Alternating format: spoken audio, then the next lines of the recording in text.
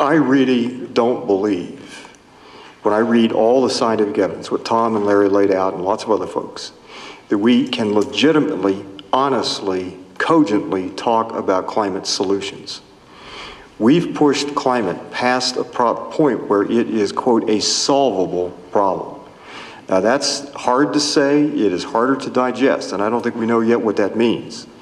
That is not to say we couldn't solve, let's say, a problem of decarbonizing the economy. That's a rather different thing. I think that is a solvable problem. That's a lot of technology and the right kind of policy sorts of things. The second thing I'd, I'd say is this.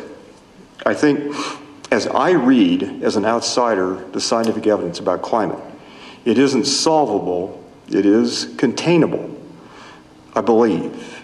And in terms of scale and scope, if not the duration necessarily.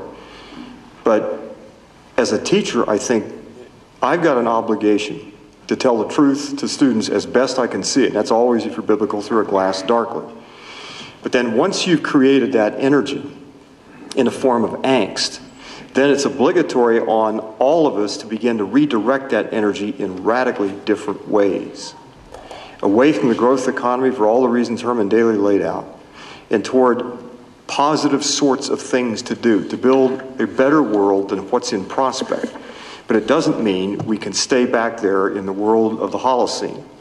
So, what, as a teacher, what, what I've tried to do in the Lewis Center, we had 250 students engaged in the design and building of that place.